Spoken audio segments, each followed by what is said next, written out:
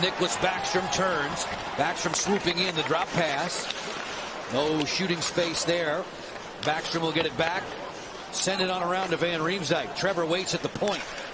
Fehérváry to the outside. Give and go. Fehérváry! He scores!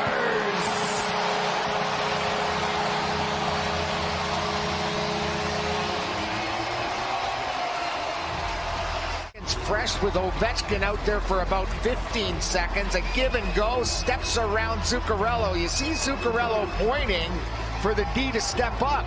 That's his man. Then he gets lost. He doesn't pick him up, nor does the D. What a finish there on a give and go between Ovechkin and Fehérváry. It's 1-0 Caps. Hartman back to the point, picked off. Strome will work through center. Dylan finds Ovechkin. Ovechkin barreling wide on the drop there. Fehérváry, deflection, score! A beautiful goal for Dylan Strome.